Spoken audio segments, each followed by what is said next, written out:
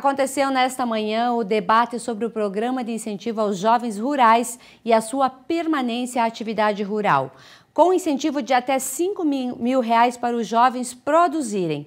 O vereador Anacleto Zanella conversou com a nossa equipe sobre o projeto de lei que deve tramitar na Câmara nos próximos dias. Acompanhe. Anacleto, hoje de manhã vocês estão debatendo a permanência do jovem no campo. É, existe algum programa que incentive para que eles permaneçam no campo?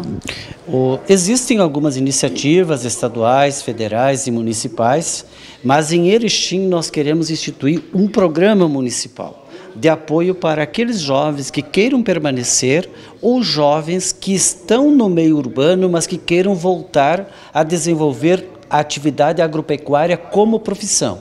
Então é um programa de incentivos. Os jovens poderão, a partir deste projeto, que ainda vai ser depois do seminário, apresentado à Câmara de Vereadores, aprovado pelo município, depois nós vamos ter um edital onde os jovens poderão se inscrever com recursos de até 5 mil reais ou até 10 mil reais anualmente para que possam continuar na propriedade ou possam voltar, regressar a, e desenvolver atividades no meio rural do município.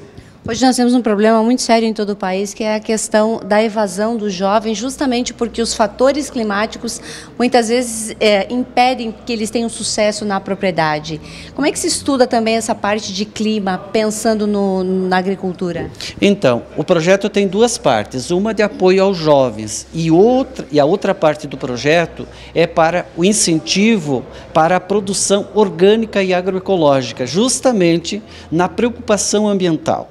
Ou seja, nós queremos nos alimentar com alimentos de qualidade, alimentos saudáveis, por isso é uma questão de saúde. Nós queremos enfrentar o problema da fome no país, então nós precisamos ter mais produção de alimentos, mas nós precisamos incentivar e precisamos produzir com sustentabilidade econômica e ambiental.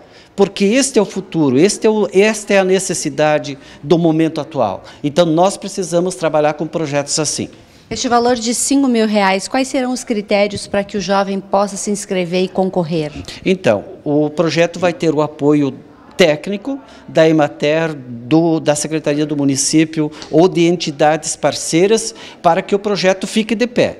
Ele, ele vai ter a ideia do agricultor, a ideia do jovem, mas ele vai, antes de ser aprovado, ele passará pelo critério técnico. E para isso, então, os agricultores e agricultoras e os jovens e jovens que vão participar do programa terão este apoio técnico para construir este projeto com viabilidade. Hoje vocês estão discutindo essa, essa criação desse projeto que se tornará lei futuramente. É quem são as pessoas envolvidas e que estão discutindo isso para que seja favorável tanto para o município como para o produtor rural?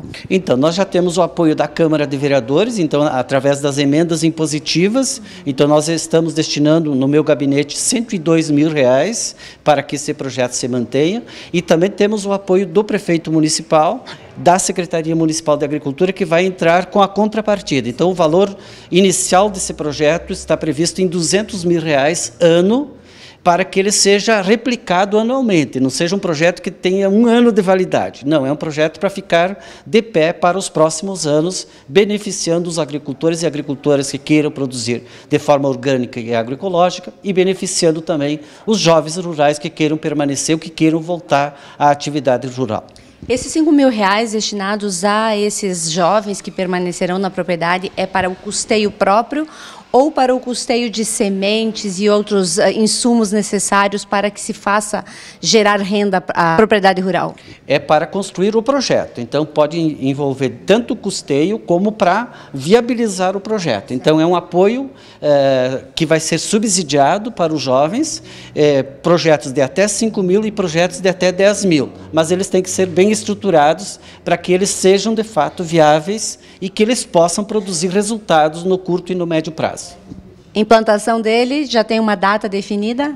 Nós queremos, a partir do debate de hoje, que o projeto seja encaminhado pela, pelo município até o final do mês de março, para que a partir de abril seja aberto o edital para que os jovens e para que os agricultores e agricultoras que quiserem participar possam se inscrever é, para apresentar seus projetos.